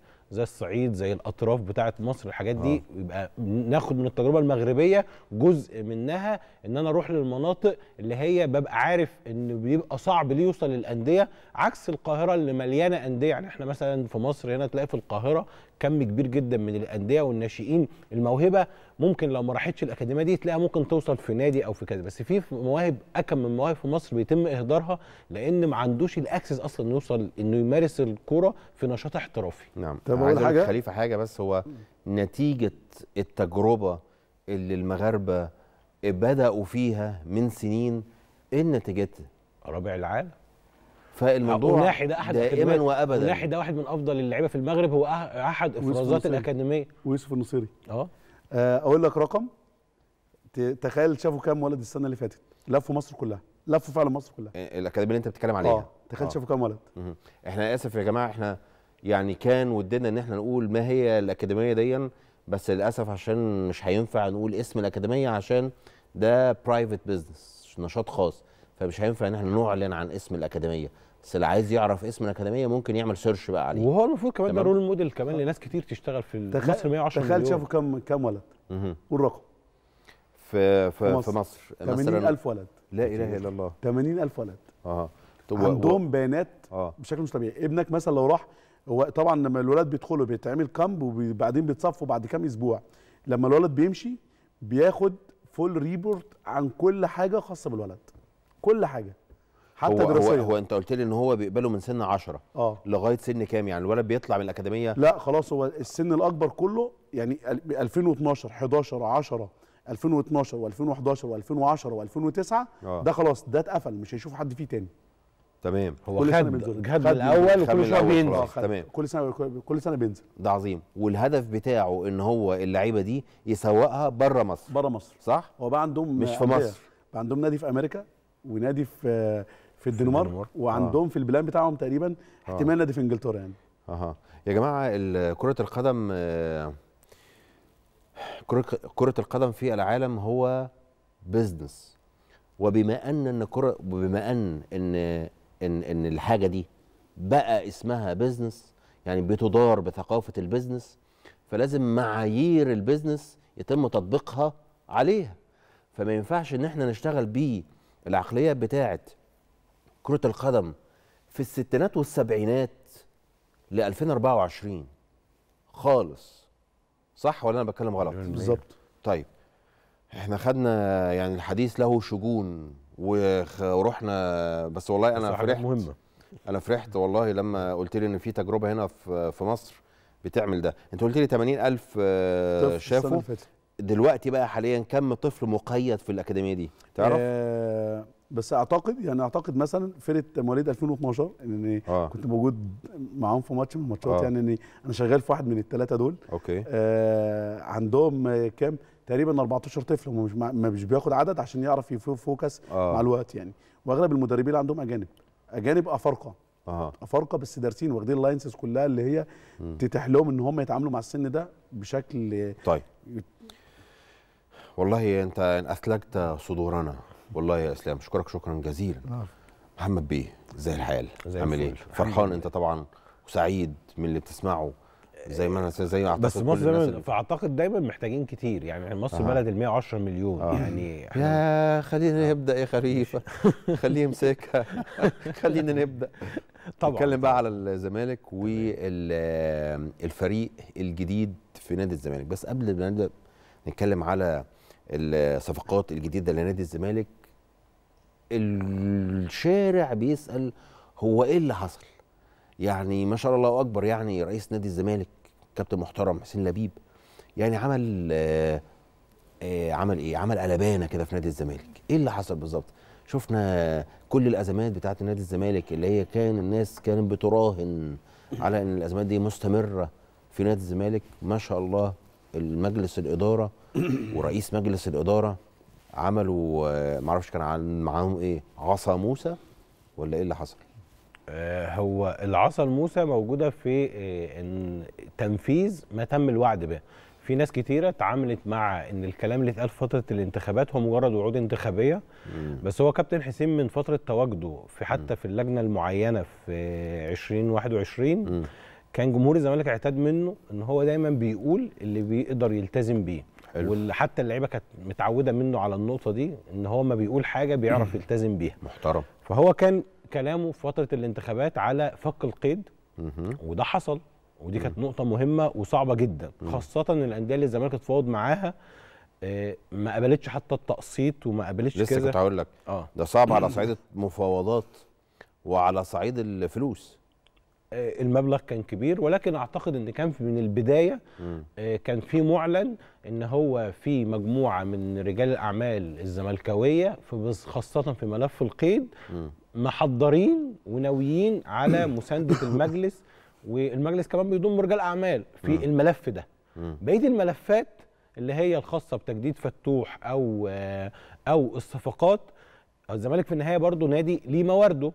الزمالك آه، عنده آه، مقابل البث ومقابل الرعاية والبوتيكات مقابل إن الزمالك برضه لو تاخد الناس خدت بالها الفترة الأخيرة توسع في فتح باب العضويات بعدد محدد حوالي ألف عضوية مم. ورفع قيمة العضوية اللي كانت قليلة جدا رفعها الرقم وأعلن إن هو هيرفعها بعد كده من بداية مارس لرقم أعلى مم. حصلت اتفاقات مع النقابات على كذا ومع جماهير الزمالك اللي موجودة في الخليج على كذا مم. على أرقام أرقام أرقام ده كان مجموعهم حوالي ألف عضوية مم. فأنت لما تضرب ألف عضوية ممكن ما تمش ضخ الأموال دي وانس يعني في متوسط كام تقريبا في متوسط 200 ألف للمؤهل العالي بس هي ما جاتش المبالغ ديت انت انت ما بت... يعني دول حوالي 200 مليون بس هو ت... لسه كنت هقول لك آه، آه، بس هو الناس ما 1500. دفعتش ال 200 مليون أيوه بس بقى في في رصيدك بالحسبة كده إن. بالتدريج هيجي لك نقدية. 200 مليون. الناس مثلا سي بتدفع مقدمات كذا ال 1000 عضوية تسوق منهم في الأول مثلا 350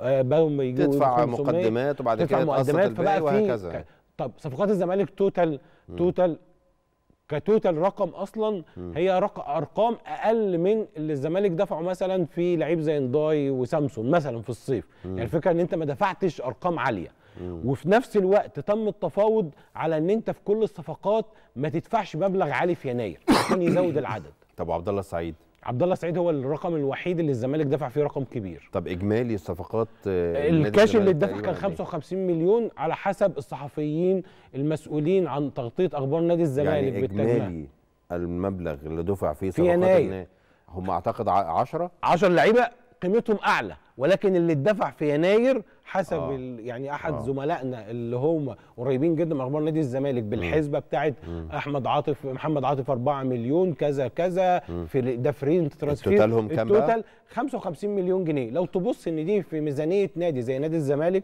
مش رقم كبير على فكرة ال 55 مليون دي ممكن أصلا بتتحسب أحيانا في أحد الصفقات. يعني أنت ممكن تجيب قبل كده في ممكن أندية أو حتى نادي زي الزمالك ممكن يدفع مثلا مليون ونص دولار حاجة زي كده في صفقة لعيب.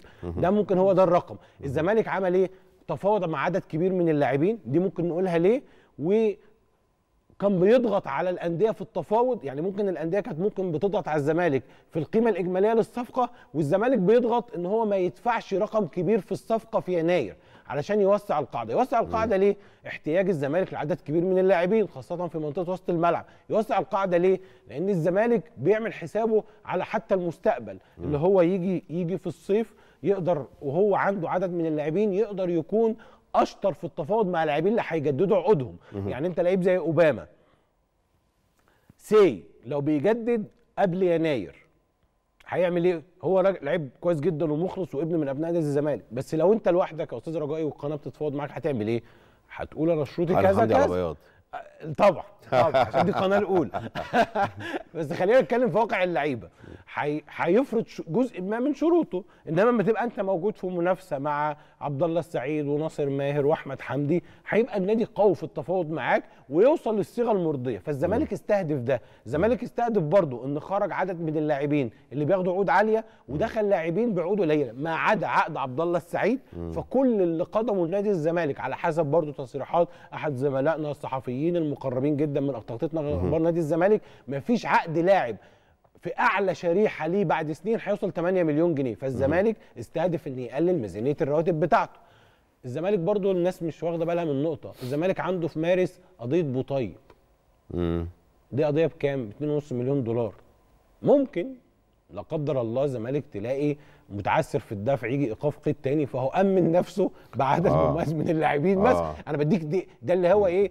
أنت لما تبقى موجود في مجلس إدارة نادي زي الزمالك بت بت بتبص حتى لأسوأ السيناريوهات. بيسموها ال risk management إدارة بالظبط. المخاطر. طيب آه، خليفة آه، كان بيتكلم آه، على الصفقات وكان بيتكلم على عبد الله السعيد. طيب إسلام آه، عبد الله السعيد رأيك ممكن يضيف إيه لنادي الزمالك؟ بص الإضافة بتتحسب من كذا اتجاه. خاصة في الصفقات اللي شبه صفقة عبد الله السعيد. أنا فاكر في يوم من الأيام آه، صفقة كابتن حسام حسن. حصل آه، ضجة عليها كبيرة ده كان قوي فريق الأحلام آه كان كابتن حسام حسن وإبراهيم حسن والك- والكاس و... وكان- لا كان بعد كده آه، وليد عبد اللطيف تامر عبد آه. الحميد بس أنا فاكر نفسه إيه في زي ما زي ما حصل دلوقتي الناس بتتكلم بشكل إيجابي هتلاقي ناس في الناحية الثانية بتتكلم بشكل سلبي إن أنت راح تجيب لعيب كبير في السن ولكن خلينا نقول إن الزمالك افتقد دور كابتن الفريق بعد رحيل طارق حامد. طبعا وجود شيكابالا لوحده مش كفاية. مم. أغلب الفرق في العالم كلها كده وجود كابتن واحد بس في الفريق مش كفاية. لو رحنا نادي زي تشيلسي راح تعاقد مع لعيب زي تياجو سيلفا وهو كبير في السن. ولكن إضافة عبد الله السعيد مش بس إضافة فنية لا كمان إضافة مهمة جدا على المستوى القيادي جوه آه، نادي الزمالك.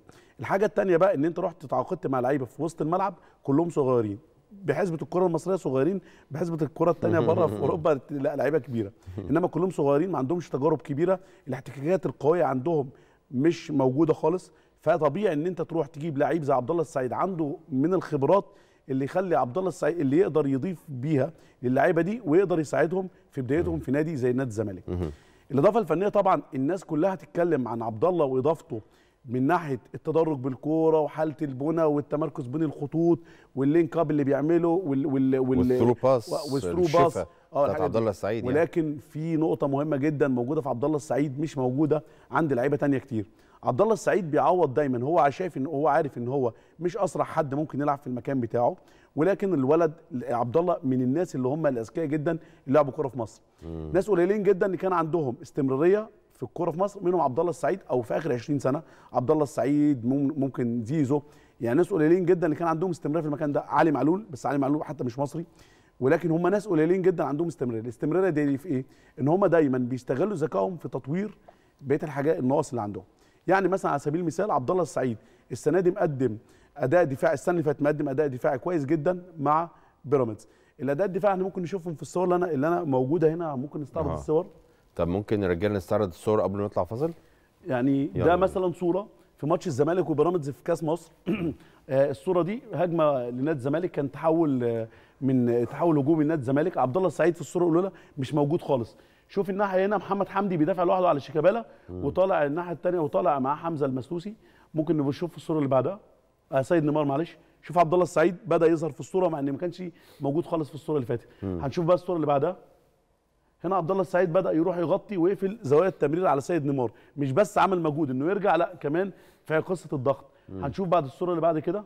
عبد الله السعيد طلع يقابل حمزة المسلوسي عشان حمزة المسلوسي ما يعملش آه يعني هو عبد الله التانية. سعيد عرف ان هو يطور آه، اداؤه الدفاعي الدفاعي. في في منطقة آه نص الملعب. آه يعني آه. من ناحية الذكاء مش المجهود وبس آه. لأن المجهود البدني مش كل حاجة. إن أنت لعيب ذكي هتقدر تتغلب على حاجات كتير جدا ومشاكل كبير كبيرة جدا. نكمل ممكن بعد كده؟ شوف هنا عبد الله السعيد بدأ يطلع مع حمزة المسلوسي عشان حمزة المسلوسي ما اتحركش في المساحة اللي في ظهر مين؟ الماتش ده عبد الله لعب حمدي. 120 لعب دقيقة فيه 120 دقيقة. وشاط ضربة جزاء يعني. يعني كان كان ما ماتش. مبهر جدا. هنشوف الصورة اللي بعد كده. هنا عبد الله السعيد قفل زاوية التمرير وبالتالي حمزة المسلوسي ما خدش في المساحة واللي الزمالك بيتارجتها. هنشوف حالة تانية شبه الحالة دي شوية. هنا الزمالك بيحاول يبني. عمرو السيسي هيستلم الكرة وعبد الله السعيد هو واقف هنا بس مش مش ظاهر في الصورة أكتر. ممكن نشوف الصورة بعدها. هنا آه عمرو السيسي شاف سيد نيمار في ظهر مين؟ عبد الله السعيد والصورة برضه عبد الله السعيد مش ظاهر فيها. فعمرو السيسي بيبص هيحاول يلعب آه، through pass في ظهر عبد الله السعيد. هنشوف الصورة اللي بعدها. هنا عمرو السيسي لما لقى عبد الله السعيد آه، قافل الزاوية آه، آه. بدأ يغير اتجاهه ويغير ال side ويعمل rotation للملعب الناحية الثانية خالص. هنشوف الناحية الثانية خالص. هنا الكره راحت أحمد سيد زيزو بيحاول ي target آه بيحاول ي target الكرة في ظهر عبد الله السعيد لسيد نيمار. هنا عبد الله واقف قافل المساحة على سيد نيمار وفي نفس الوقت مش قافل بس طول الوقت عبد الله بي scan عشان يعرف هو واقف صح ولا لا. ودي من الحاجات القليلة جدا. تشوفها لعيب في السن ده بيعمل الحاجات دي ده مبهر جدا. هنشوف الصورة بعد كده. الكرة راحت لزيزو وهنا آه هنا دونجا هيبدأ يعمل إيه؟ هيبدأ يعمل ال cross. شوف بقى ال cross هتلعب. اللي بعدها مين اللي طلع الكرة باليد؟ عبد الله السعيد. عبد الله السعيد عامل موسم مبهر فعلا. فإضافة عبد الله السعيد هتكون فنية وممتازة جدا للزمالك. مش بس إن هو لعيب كبير في ناس بت- بتنتقد الصفقة إن هو مجرد ده لعيب كبير لا يا جماعة الإضافة بتاعت عبد الله السعيد هتفضل إضافة مهمة جدا طيب. أرقام عبد الله السعيد السنة دي أها. في السن ده أها. لسه أرقام مبهرة بشكل كبير جدا واحد عنده 38 سنة هو واحد من أحسن اللعيب أو واحد ال- الفرق بتاعه في ال pass في ال final third مثلا بينه وبين ال average بتاع لعيب مركزه في الدوري المصري فرق كبير جدا فاللعيب لا إضافة طيب. كبيرة لنادي الزمالك طب إحنا. عايزين نتكلم بتفاصيل عن آه، ما شاء الله ال- نادي الزمالك جايب 10 صفقات في كل الخطوط هجوم وخط وسط والدفاع. نتكلم عنهم بقى بالتفصيل. وكمان عايزين نتكلم على المدير الفني. إحنا قدامنا قد إيه؟ إحنا قدامنا طيب خلينا نروح فاصل طيب ونرجع تاني. ماشي؟ فاصل يا جماعة ونواصل.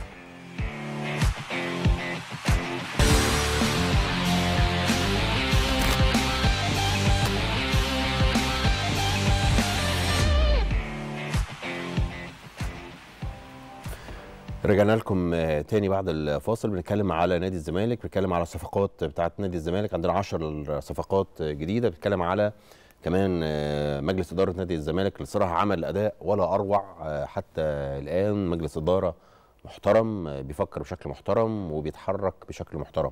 إحنا معانا دلوقتي نتكلم خلينا نتكلم على إيه؟ على المدير الفني جوميز خليفة شاف جوميز. إيه اللي ممكن يضيفه زيادة عن كابتن معتمد جمال هو إيه، كانت المطالبات واضحة جدا إن آه، تجاربنا مع المديرين الفنيين المؤقتين آه، في نادي الزمالك أو في معظم الأندية المصرية ما بتنتهيش على خير دايما. بتبقى في زي شهر عسل في البداية وبعد كده الأمور بتصعب. أيوه الراجل عمل أداء آه، يعني آه، أداء ولا أروع في الفترة المؤقتة. ممكن نقول نتائج مع- مقبولة بس أنا ما شفتش إن الأداء كان ورا أروع. يعني إن النتائج كانت مقبولة. آه ونت... وسبب جزء من النتائج كانت مقبولة المنافسين الزمالك في دوري المجموعات في الكونفدرالية منافسين ضعاف. لسه الكونفدرالية هتبقى بعد كده. إنما فرق مسلم الليبي سوار سجرادة فرق إنما كابتن معتمد لعب في الدوري بالظبط. آه، حوالي ثلاث مباريات في الدوري. آه، فاز على فيوتشر. وخسر من المصري. آه. ويعني يعني ومباراة المصري كانت مباراة مش كويسة خالص للزمالك يعني طيب. المصري هو اللي مم. تفوق أداء ونتيجا فكل اتحاد الكابتن معتمد على الفترة اللي قضاها بس أنا ما شفتش إن الأداء كان مبهر. الزمالك ماشي. كان واضح إن في حاجة لمدير فني أجنبي بمساعدين علشان رفع مستوى اللياقة رفع مستوى الأداء الفني فراح لجوزيه جوميز. هل هو ممكن الاختيار أفضل أيوة. شيء؟ أعتقد إن برضو الزمالك كان محكوم بالميزانية. الزمالك كانت ميزانيته المخصصة للمدير الفني الأجنبي مش عالية. في مدربين مصر كانت في فترة ما قبل من فترة كان مثلا الجهاز الفني تلاقيه بياخد 80 و90 ألف دولار في أندية الزمالك والأهلي وده ال level أعتقد بعد ما الزمالك دفع الفلوس بتاعت سبورتنج لشبونة كاملة وكراكاس كاملة نزل بال budget ده لرقم يقترب من النصف تقريبا. فكان الاختيار منطقي لجوزيه جوميز. تعال نشوف فيديو كده لجوزيه جوميز نوضح في نقطة ممكن الزمالك كان بيفتقدها هجوميا وهو راجل بيدور عليها في أحد فيديوهات هو الراجل هو الراجل بيلعب بأداء هجومي. صح كده؟ هو مسك يعني. هو تولى عدد من الأندية. الفيديو في- هو جاهز معانا آه في أندية. خلينا نبص هنا على أيوة. الكلام اللي موجود في الفيديو. هو بيتكلم على إيه You بقى؟ must ask for the آه. ball otherwise you just make طب واحدة واحدة رجالة. طب نقرا ماشي. هي الكلام المهم اللي you فيه المهم اللي. فيه عشان نرجع نرجع. تاني عشان إحنا ما سمعنا ما شفناش لا يعني هو الكلام ممكن نشرحه للناس كويس جدا إن هو بيطلب من لعيبته ما تتحركش تبقى فاتحة الملعب بزيادة ودي كانت مشكلة زمان بيواجه من بيواجهها في الثلث الأخير مم. تلاقي اللي مثلا. آه, آه شيكابالا واخد أقصى ال wing ومصطفى شلبي واخد أقصى ال wing وما بيطلبوش الكوره في المساحة بعده. اللي, ورا المدافعين هنا. هو بيطلب أهو ان لو انت عايز الكوره بيتكلم فيها مع اللاعبين كمل اللي اللي بعديها هيقول لهم اللعيبة تتحرك ورا ورا المدافعين أها. اللي هو تروح تجيب جون على طول مش تستلم. عند الخط. هاجم المساحة ما تهاجمش. اللعيب يعني انت. يعني اللعيب عنده اللي واقف جنب الخط ده لازم دي بس بتوسع الملعب لحظة بداية الهجمة. انما وانس ان الهجمة بدأت وبقت الكرة في وسط الملعب لازم اللعيب يتحرك لقلب الملعب وياخد المساحة دي بحيث يبقى أنت عندك المهاجم وفي اتنين أو ثلاث لاعبين بتساند المهاجم في المنطقة اللي بيجي منها جول ده اللي إحنا بنشوفه مثلا في أداء الأهلي. هتلاقي دايما بيرسي تاو وحسين الشحات بيستلموا لجوه والخط لمين لمعلول بالظبط. أو محمد هاني. آه. ما بيبقوش واقفين على الخط. الزمالك كان بيواجه المشكلة دي لطبيعة ال winger اللي بيلعبوا في الزمالك سواء مصطفى شلبي عنده مشكلة حقيقية في الاستلام في قلب الملعب وبيخش قلب الملعب غير نادرا. آه زيزو بطبيعته ينفع يلعب لقلب الملعب ويطلع لبره الملعب إنما مصطفى شلبي وشيكابالا تحديدا محتاجين يغيروا من طريقة طلبهم للكورة مع جوزيه جوميز حسب الفيديو اللي إحنا شفناه ده. الراجل بيتكلم receive inside استلم لجوه الملعب. الفيديو ده كان بيتكلم فيه مع لعيبته إن هم لازم يتحركوا في قلب الملعب. يعني آه. هو بيعتمد على الكرات ال تمريرات طولية. أمامية لا لا مش آه. طويلة قوي لازم عادي بس التمريرات تبقى لقدام آه. ما تفتحليش قلب الملعب آه، ودي مش ال long. ball four ال- لا هو ما ال frontal اللي هو. الأمامية هو ال frontal هنا بص أمامي لقدام. الباصات العرضية آه ما يعني بيحبش نقعد نلعب بالمساحات بالعرض وننقل ونفتح الملعب بزيادة. ده كرة هجومية آه. صرفة يعني صح كده هنيجي بقى آه. للصور اللي معانا والأرقام اللي بتوضح ممكن يعني نكمل الفيديو عادي هو دقيقة بس كده يعني هو عايز ثلاثة من الفريق ده يهاجموا دايما. هنكمل الفيديو هيوضح فكرة الراجل إنه بيكلم دايما ال winger بتوعه آه. إنه يخشوا لجوه الملعب عايزهم يبقوا كأن إحنا معانا اتنين مهاجمين. يعني المهاجم يبقى موجود معاه. هنا الفيديو هيوضح لك تماما فكر الراجل ال insides عنده لازم تخش جوه الملعب ده كان بيدرب. فريق إيه اللي كان بيعمل في الفيديو ده لا هو أنا ما أعرفش الفيديو ده تحديدا ده فيديو آه. آه. موجود لشرحه والراجل ليه تجربة درب حوالي 14 نادي منهم أندية في ال Championship في ريدنج وفي أندية في في البرتغال أكتر من تجربة وفي تجربة في التعاون السعودي تجربة ناجحة وفي تجربة في ألميريا في الدوري الأسباني اللي هو صعد ألميريا بعديها في نهاية ال season آه. آه، بس هو المستشار تركي الشيخ بدله بجوتي في مرحلة ال play offs فالفيديو ده يوضح لك آه. مشكلة هتواجه الراجل. آه وهتواجه مين في الزمالك؟ مصطفى شلبي. تحديدا. ليه مصطفى شلبي تحديدا؟ تعال نشوف الأرقام اللي معانا اللي بتوضح شوية حاجات عن مصطفى شلبي. طب قبل قبل ما نروح لمصطفى شلبي يا خليفة أنا عايز اسال أستأذنك أسأل إسلام. سؤال. هو مع أو ضد القرار بتاع معتمد جمال إن هو يرحل؟ مين أنا؟ آه. إسلام؟ لا كان كان لازم فعلا الزمالك يستعين بجهاز فني أجنبي. آه زي ما دكتور خليفة قال نقطة مهمة جدا إن فعلا الأجهزة الفنية المصرية آه أو الأجهزة المؤقتة عموما الشهر عسل بتاعها ما بيدومش كتير جدا. دي حاجة الحاجة الثانية والمهمة لا لا لا لا أنا قصدي مع ولا ضد إن هو يستقيل من ال يعني ما ما يبقاش. الراجل التاني مع آه جوميز. أعتقد آه، لا كان قرار صائب جدا من كابتن معتمد. صائب. آه. آه للأسف يعني ال- الناس اللي زي كابتن معتمد في الآخر ممكن بي- بيشتغل كويس في البداية مع الراجل. ولكن مع الوقت انت كمدرب بتحس ان انت عندك انت واخد ال licenses بتاعتك أو انت كنت مدير فني بتاع الفريق في يوم من الأيام يعني خلاص مش قادر مش هيبقى في كيمياء بينه بينك وبين الراجل ولو قلت أي رأي والراجل ما اقتنعش بيه هتحس يعني أحيانا آه، يعني الإيجو بتاع المدربين المصريين عموما بي- بياخدها كان بإهانة. ينفع لو هو جه آه. من البداية ك كمساعد. من, من ك- التجربة آه، كمساعد كمساعد للمدير الفني. مطول كمدير فني يبقى صعب عليك تنزل في المكان يعني المكان اللي انت حكمته مرة آه. ما ينفعش تنزل فيه تبقى. مساعد يعني يعني أنا بقول إن هو مثلا إن هو كان أصلا لما تم التعاقد معاه. على أساس إن هو فتره مؤقتة فترة مرحليه بس هو طولت شوية آه. في في نقطة طولت عايز أعقب عليها بس. اتفضل. كلام الدكتور اتفضل في قصة إن الوينجات اللي في مصر بيستلموا أو الوينجات بتوع الزمالك لما بيستلموا آه. دايما فاتحين الملعب ده للأسف. إحنا عندنا دي مشكلة تأسيس أصلا آه. إن كل الولاد المواهب في الأندية المدربين مش بيحاول يفهموا يعني إيه يهاجم المساحة. دايما اديله الكرة تحت رجله وهو هيتصرف. آه. دي مشكلة كبيرة جدا. آه. عشان كده حسين الشحات من الوينجات القليلة في مصر اللي هو بيقدر يهاجم في المساحة. الداخلية آه. وبيهاجم المساحة. يعني حسين الشحات هو موهوب في الحتة دي الحقيقة. فدي مشكلة تأسيس بشكل عام. 90% من اللعيبة في مصر عندهم مشكلة في دي. ليه زيزو متميز؟ عشان قلنا قبل كده يا جماعة إن زيزو التأسيس بتاعه غير كل تأسيس. نفس نفس القصة. تأسيس أجنبي لاكاديميه شبه الأكاديميات اللي كانت موجودة اللي إحنا اتكلمنا عنها في البداية. طب. هروح. بقى لأرقام مصطفى اللي هتوضح الكلام. ده. أستاذنك آه، نعمل ده بس بعد الفاصل؟ براحتك طبعا. مع فاصل سريع. ونرجع لكابتن محمد خليفة وكابتن إسلام علي. يتكلم كلام كبير جدا وكلام فني. أرجوكم ابقوا معنا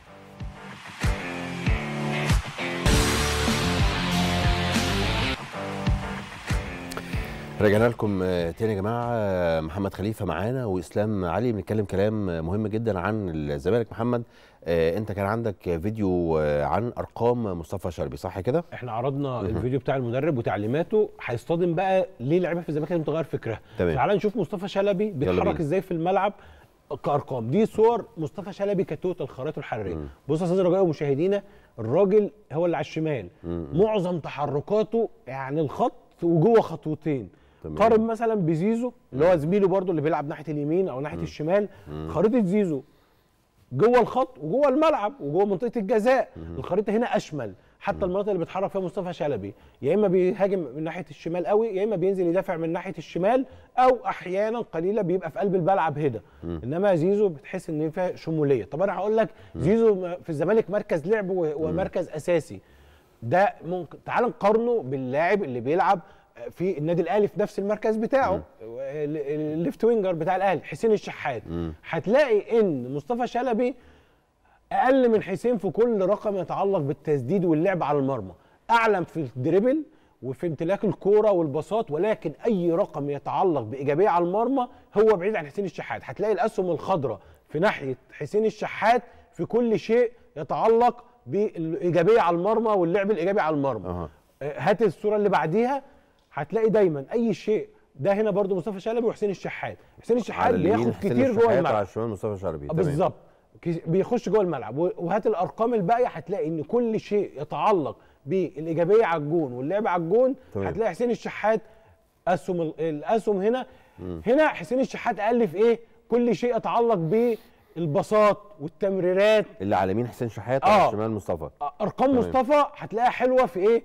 في كل شيء ليه علاقة بالتمرير والاستلام الفرق- وال dribble آه. إنما كل شيء ليه علاقة بالتهديف آه. هتلاقي حسين الشحات متفوق هات طيب. الصورة اللي بعدها بتوضح دي سريعا بس إحنا معانا ثلاث دقايق بس ولسه كل الأرقام ايجابيه. لصالح مصطفى في ال dribble والحاجات دي إنما كل شيء ليه علاقة بالفرص والفرص المحققة واللعب على الجون تحت تلاقي حسين الشحات حسين شحات صعب أفضل فهي. دي فأنا أعتقد فكر جوميز جوميز هيعدل لازم أو ممكن يعدل من طريقة يا إما. يغير ويعدل منه يا إما هيبتدي الزمالك يدور في الصفقات اللي جابها أو يبتدي يدور في توظيف جديد لعبد الله السعيد أو في الاثنين اللي جابهم winger اللي هو الراجل الاوغندي. ترافيس أو آه، آه، أو محمد عاطف من طنطا. طيب آه اسلام إحنا عايزين سريعا نقول اسماء الصفقات وانطباعك عن الصفقات دي يعني مين اللي ممكن ينور الموسم ده مع الزمالك من من واقع الأسماء؟ تمام عبد الله السعيد ناصر ماهر أحمد حمدي محمد عاطف محمد شحاتة مهاب ياسر زياد كمال سيف فاروق جعفر وياسر حمد وده فلسطيني وترافيس موتيبا وده أوجندي وكان في تردد إن في لعيب سوري اسمه محمود الأسود وأنتوا قلتوا إن هو ما زال الموضوع ما ما, ما. جاش لغاية دلوقتي. تمام. آه طيب أنا عندي مثلا ناصر ماهر وعبد الله سعيد وعندك شيكابالا. فناصر ماهر هل هي هيجي على إيه؟ على دكة البدلاء ولا يعمل إيه؟ آه بص من الواقع اللي إحنا بنتكلم فيه ومن واقع الأفكار اللي بتتكلم بنتكلم عن جوميز نفسه مم. ناصر ماهر مش هيكون له نفس الدور بتاع عبد الله السعيد لأن ناصر ماهر للأسف مش من اللعيبة اللي بتطور نفسها بسرعة. مم. ما ناصر ماهر هو اللي طلع من الأهلي هو لسه موجود لحد دلوقتي. مفيش أي تطوير جديد بيحصل منه. آه كم سنة ناصر ماهر؟ ناصر 26. اعتقد ده 26 سنة. عنده مشكلة كبيرة جدا. هو ناصر دايما كل ما الفريق بتاعه بيستحوذ في الكورة هو لعيب ممتاز جدا خاصة في الثلث الثاني من الملعب مم. فيما بعد فيما عدا ذلك لا ناصر سيء جدا حتى هو الواجبات الارتداد الدفاعي. الدفاعية. آه الارتداد الدفاعي ناصر سيء جدا فيه يعني ال- ما- الضغط يعني- الضغط آه. بوعي سيء جدا فيه تمام. فأعتقد إن ناصر مطلوب منه الفترة الجاية إن هو لازم يشتغل على نفسه في الواجبات دي مراحل التدرج بالكورة ومراحل ال building ومراحل الضغط لازم ناصر يتطور فيها بشكل كبير طيب جدا. مهاب ياسر وزياد كمال. ماشي أنا هتكلم لا أنا هاخد اتنين مع بعض زياد كمال ومحمد شحاته الزمالك افتقد طارق حامد. وفرجاني ساسي وإمام عاشور. بعد آه. بعد ما مشي الثلاثه دول الزمالك راح اتعاقد مع الثلاث لعيبة في نص الملعب. الثلاثه كانوا شبه بعض جدا. مفيش اختلاف في ال profiles بتاعتهم. روا ودونجا وعمرو السيسي هم ثلاثة يعني هم يعني آه يعني أكتر حاجة هم يعتبر بيقطعوا كرات أكتر يعني ميولهم الدفاعيه أكتر إنما ما عندهمش أي ميول في في مرحلة البنى بنى الهجمة دول سيئين جدا فيها الثلاثه آه دونجا مش بياخد المسؤولية من اللعيبة اللي بتستخبى ما بيعرفش يقف بين الخطوط ويستلم ويخرج في فرقته. الناحية الثانية آه رؤى عنده مشكلة. رؤى إن هو ممكن يقدر يخ- الجديد بقى. آه ممكن يخلق لنفسه المساحة. ولكن مشكلة آه مشكلة رؤى في قراراته. الزمالك عوض دول بمين؟ بزياد ياسر ومحمد شحاتة. كمال. آه، زياد كمال ومحمد شحاتة. زياد كمال من اللعيبة إحنا عندنا مشكلة في مصر إن ال defender ات لازم مش مفيش حد بيعرف يلعب defender ستة لوحده صريح. لازم يلعب double pivot عشان تقدر تحميه في مواجهة اللي في مواجهة التحولات بتاعة الفرقة الخصم. طب زياد كمال إيه الفرق بينه وبين دونجا؟ زياد كمال في ميزة كويسة جدا إنه دايما قريب من لاعب نص الملعب اللي جنبه. يعني لو بيلعب باثنين تمانيتين فوقيه زياد كمال مميز جدا إنه بيبقى قريب من الاثنين التمانيتين. عشان يقلل المساحة بينه وبين لعيبة نص الملعب اللي قدام. تمام. في ميزة تانية عند دونجا إن هو مهم جدا في عملية البنى بنى الهجمة. آه. وبيقدر يتمركز بين الخطوط. أها. يعني لو في خط ضغط اولاني واللعيب اللي جنبه هو اللي خد مسؤولية البنى مع الاثنين center back ات أها. زياد بيقدر يتمركز بين الاثنين خط بنى التاني أو بين الخطين بين خطين الضغط عشان يقدر يطلع فرقته محمد شحاتة profile مهم جدا الزمالك افتقده السنة اللي فاتت. هو ال profile ده الزمالك افتقد ال profile لعيب نص الملعب خاصة بعد رحيل إمام عاشور اللي بيقدر يتحرك في انصاف المساحات يعني ال- ال- ال- المساحات الداخ... الممرات الداخلية بيتحرك بشكل طولي. حاجة تاني محمد شحاتة من اللعيبة الممتازة جدا اللي بيقدر يعمل switch مع ال wing والمهاجم. يعني دايما لو المهاجم نزل خد واجبات إنه ينزل يساعد الفريق في حالة التدرج هتلاقي محمد طيب. شحاتة من اللعيبة اللي بتتحرك. أنا كنت مجهز ده بالصور بس الوقت طبعا. معلش هو هو الوقت خلص بس آه. أنا عايز أسأل سؤال لخليفة. آه تتوقع اسم مين من الأسماء اللي موجودة هي هيلمع في خط هجوم نادي الزمالك؟ خط هجوم الزمالك ما حصلش فيه تدعيم بشكل كبير ولكن الزمالك دعم ال winger. آه. فأعتقد إن الزمالك ممكن فيه رهان كبير من team ال scouting في نادي الزمالك على اللاعب الأوغندي ترافيس. هو يعني في رهان كبير عليه. أنا يمكن مش بميل قوي للعيبة اللي هي مش بدنيا قوية أيوة. ولكن معظم الناس اللي اشتغلت scouting في نادي الزمالك بيقولوا إن ده لاعب هيكون مفاجأة من يعني من من إن هم شافوه بعينهم أكتر من حاجة. إن هو ده هيبقى نتمنى. ذلك. بس نتمنى مش على. لساني على لسانهم. أها. شكرا شكرا حاجة حاجة أخيرة بس. اتفضل. يعني آه طبعا آه في حاجة مهمة جدا إن نادي الزمالك اشتغل على الصفقات دي بتيم سكاوت ودي حاجة مميزة جدا وبارقه أمل فعلا للفريق نسبة النجاح أكيد مش هتكون 100% ولكن طول ما في ناس شغالة بشكل علمي أكيد هتضمن نسبة نجاح كبيرة جدا ممكن تعدي 60 و70% يا رب. أنا بشكرك شكرا جزيلا إسلام علي بشكرك شكرا جزيلا. محمد خليفة بشكرك شكرا جزيلا. مشاهدينا بشكركم شكرا جزيلا. غدا إن شاء الله بإذن الله حلقة جديدة من رقم 10 أرجوكم دائما ابقوا معنا.